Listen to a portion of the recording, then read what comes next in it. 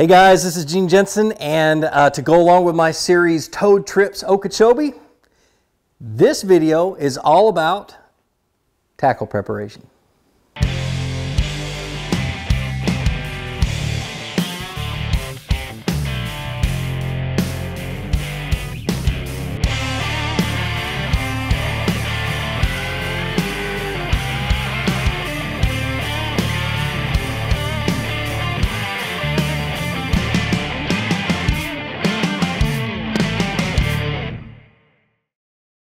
You know, with me, uh, tackle preparation is something I take very seriously. This, this is probably going to take me two, two and a half hours. It's going to take me longer to do this than just about anything that I do because I want everything to be perfect. I want to have everything that I need so I don't have to stop and go to a tackle shop while I'm fishing or the, you know, after I'm fishing one day. Or I don't have to be left out on the water and, and just be upset because I don't have something in my, something specific that will attack a certain situation that I might come across. And so all that research that I did online is mainly, for me, it all boils down to it does, it helps me to choose the right tackle. So what I'm gonna do is I've got all these brand new uh, Bass Mafia boxes. So I've got to move some tackle over from my old boxes to my new boxes. And I've got to get everything ready for this trip. Anything that I'm not going to need on this trip, I'm not taking. Uh, so the research that I've done has, has helped me to determine what lure colors I need, um, what types of lures I need, what terminal tackle I need, and all the other things. And I'm just going to put them all together in a kit, turn the camera back on, and show you what I've done and why I've done it. All right, well, so basically I spent the last several hours uh, just moving my, old, my tackle from my old boxes to my new boxes and getting everything labeled and going and finding some of the tackle, some of the lures and the crankbaits I knew I was missing and that were, you know, in the boat or out in the garage or hanging up or somewhere else. Just getting things organized. And now, finally, um, I can go through the tackle that I'm going to take to, uh, to Okeechobee. And in my research, uh, there's a few things I noticed on the videos, um, in the fishing reports, and, uh, and just about anywhere I saw uh, the colors, the typical colors that they were using were black and blue, June bug, purple, dark colors, green pumpkin. Um, and then with spinner baits, it was white and white and chartreuse, bright colors, lots of flash. So I, am keeping that in mind in my lure selection.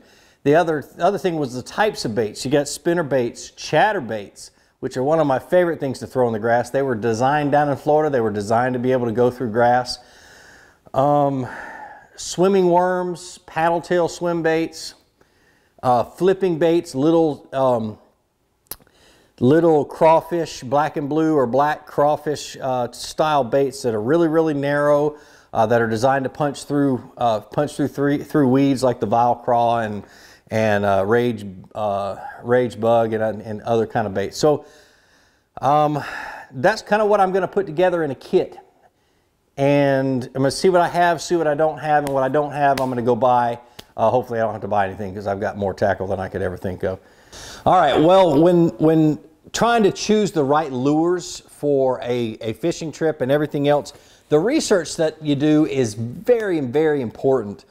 And what I'm looking for when I'm doing research and trying to choose the baits are several different things. One is water clarity, watercolor. I'm looking at those videos. I'm trying to figure out by looking at it what the water clarity may or may not be. Depending on the weather, you know, a lot of times it can be stirred up or, or muddy or whatever.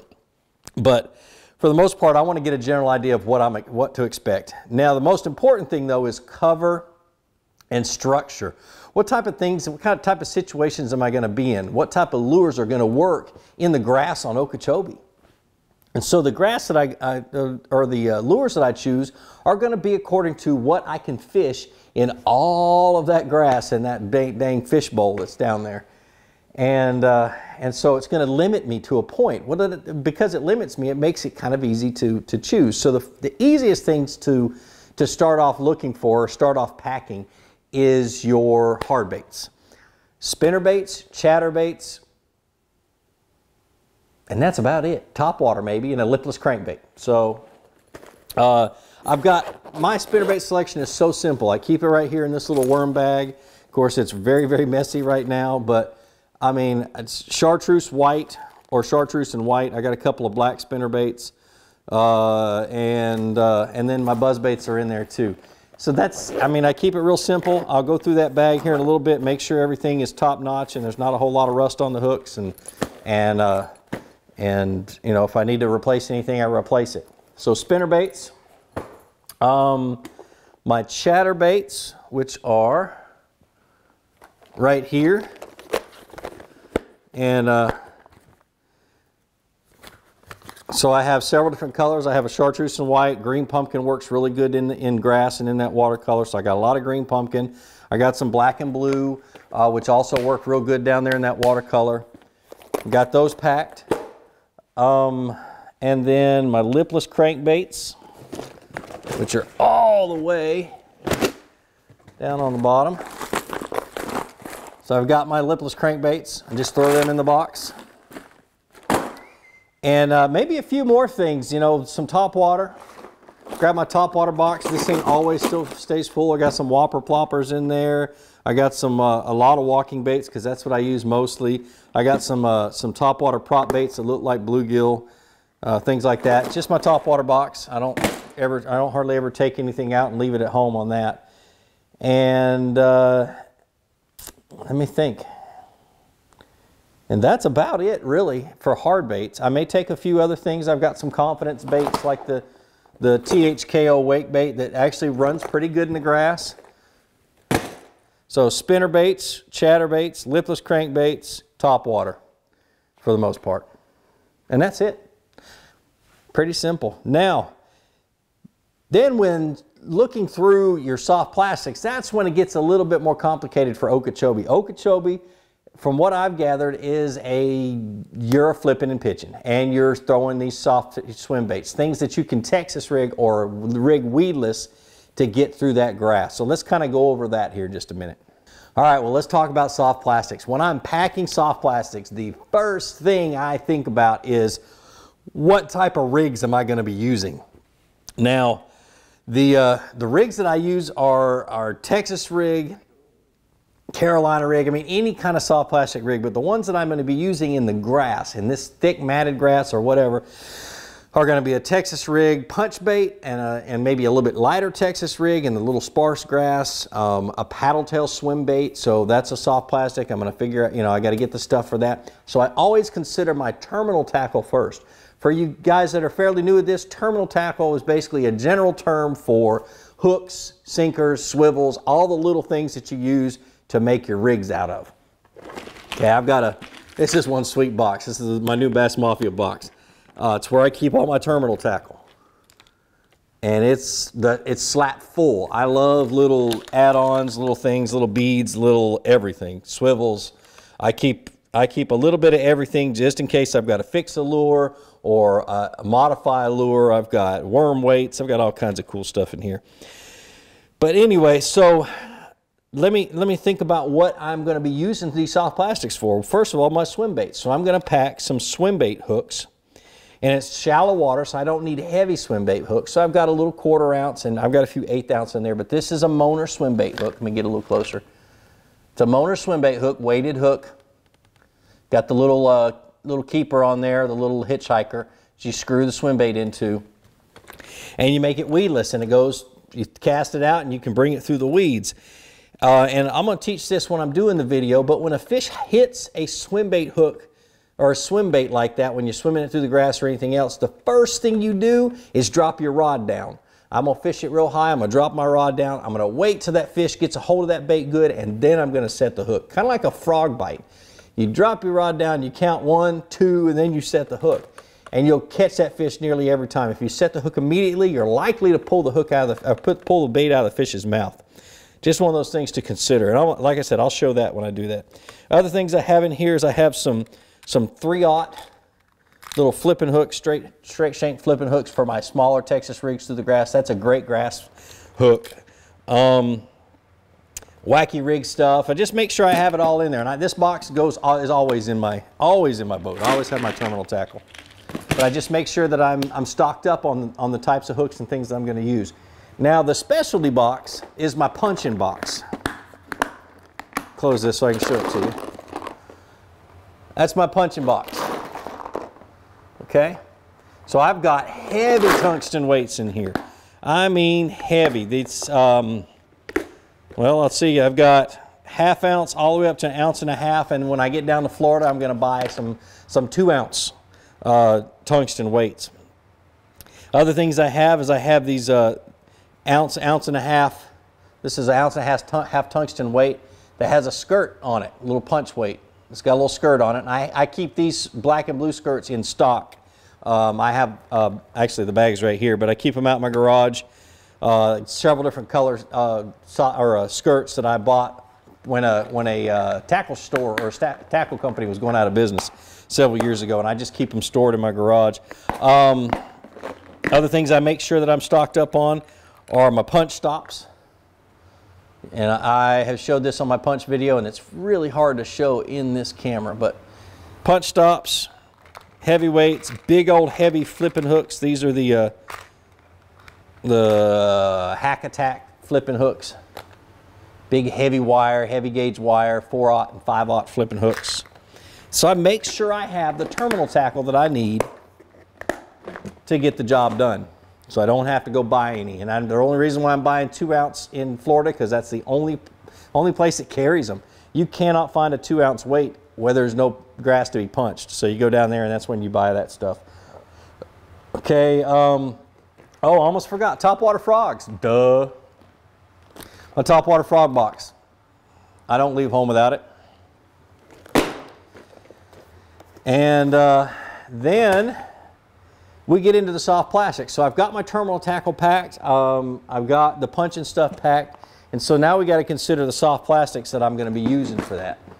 All right, now soft plastics. What are the several different ways that I can fish a soft plastic in the type of grass that's on Okeechobee? That's that's always the question. You always consider what cover or what situation you're going to be in when you choose whatever bait you're fishing, whether you're on the water or preparing to go on the water. So a lot of things, one of the things I'm going to be doing is swimming a soft plastic through the, through the grass. What kind of soft plastics? Well, paddle tails. I like solid paddle tails, like the, the Zoom, uh, what is it, Swimming Super Fluke or something? Yeah, Swimming Super Fluke. I'm going to buy it in colors that are going to show up on, in, in that muddy water. Uh, something that's a little bit darker. This has got a little flash to it. Uh, this is a bluegill flash. It's kind of blue. It's got some flash to it. Try those colors out. My favorite soft plastic to swim though is a worm. And not just any worm, a worm with like a little paddle tail, a little kicking tail. Uh, Zoom Ultra Vibe Speed Worm. This is a great Carolina rig worm too. I've been using a Carolina rig for years and years and years. But uh, a, a, little birdie that used to live down there, uh, the co-founder of Mystery Tackle Box, told me, you better have some June bugs. So I went and I bought some June bug Ultra Vibe Speed Worms. Uh, and the way I store them, many of you guys have seen the video on how I, how I store my soft plastics, but is I put them in gallon Ziploc bags just like this and label them and then put them in a box that goes inside my boat. So it's easy to find them if I'm looking for flipping worms. And these are also paddle tail worms, but worms I can flip into heavy cover. I would much rather flip a worm most of the time into really, really, really thick cover than I would a, a crawbait uh, because there's a lot less appendages and things coming off the side of the bait. Uh, you know, it's it just it's one of my preferences. So I've got um, I've got six and a half inch plasma tails in here that I would flip into something. I've got um, what other kinds of stuff? And once again, all the colors I'm considering is, are the colors that work in that dark colored water. Uh, I've got uh, the Rage Tail Cut-R Worm is another good one to flip in. It's also a really good swimming worm like the Ultra Vibe Speed Worm. Uh, and then I've got my flipping baits, lizards, uh, beaver style baits, rage bugs, uh, and then a whole box of, a whole bag of vile craws. And the colors are black and blue and green pumpkin. That's it. Oh, and Okeechobee, uh, uh, what do they call it? Okeechobee craw, I think. Uh, green pumpkin and blue. And then last but not least, the paddle tails, the swimming, the stuff you, you throw, you know, throw on a swimming, swim bait hook and you throw around the grass. but uh, you know, KVD for Perfect Plastics. I've got some uh, some seismic paddle tails. Like I said, the swimming flukes are going to go in there. Uh, the hollow bodies, I've got some Yum Money Minnows, uh, which I, I don't particularly like them, but sometimes they work, so I like to at least have some handy.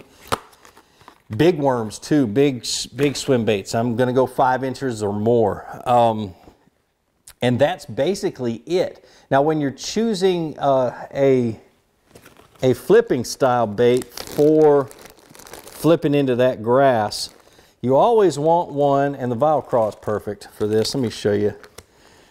Holy cow. You always want one for uh, one that will slide down into that grass. And the thing I love about a vile craw is it's got that little arrowhead or whatever, that little head to it that, that punches down in the grass and there's not a whole lot of appendages coming off of it. So it is an ideal punching and flipping bait. Uh, another thing that this is really good for, and the reason I don't have any uh, solid plastic frogs, you know, the, the buzz frogs, is because you can put a frog hook on here, and I've got a few of them. Matter of fact, there's a bunch of frog hooks right there from Owner Hooks. You put it on there and you can buzz it right across the surface and it, it works just like a frog. It's got a little keel on the bottom of it. Works just like a frog. You just buzz it right across. So there's the the options are endless and I don't have to pack a whole lot. The other thing you can buzz across are these swim worms. These uh, ultra vibe speed worms, you can buzz them across the surface and the bass will tear them up, especially if they're up in those that really shallow grass spawning or getting ready to spawn. But I think that's about it. That's that's what I'm going to take with me. I've got uh, this box and I've got another box that's probably going to be half full of just whatever's extra shoved up in my boat. Um, and I'm of course going to bring extras, uh, bring my, my uh, crankbaits just in case a cold front comes in and they pull out into the into the canal, into the ditches, I'm going to have all of my crankbaits with me. They don't take up much room, or they do, a bunch of crankbaits, but they aren't that heavy, so it's not going to weigh down the boat or anything else. And, uh, and that's it. The next video is going to be about how I pack my boat, how I prepare all the little, this, you know, the, the life jackets and everything, how I pack my boat and get it ready to go. So like I always say, be sure to introduce somebody to fishing. Be sure to, to, to let me help you teach them how to fish by showing them my videos. But more importantly, get out in the water, go out and catch some fish, and have a great day.